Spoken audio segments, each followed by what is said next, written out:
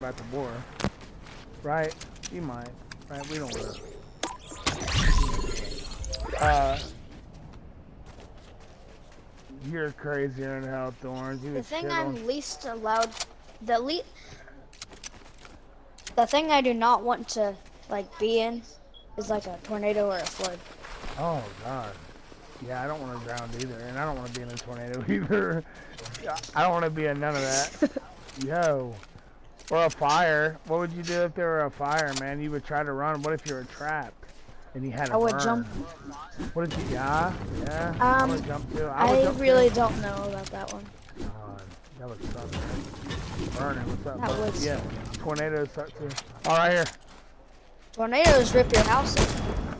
I'm on. I'm on a grenade or two, probably. That probably ain't him. I'm a Oh God! I hit him right in the head. Hit him right.